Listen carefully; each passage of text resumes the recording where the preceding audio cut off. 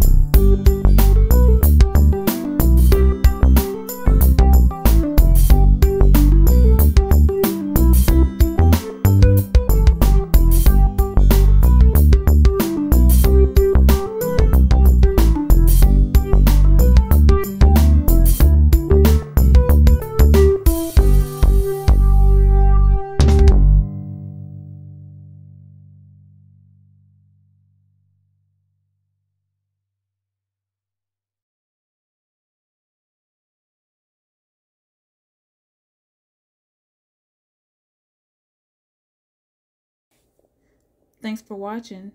If you made it this far, consider subscribing.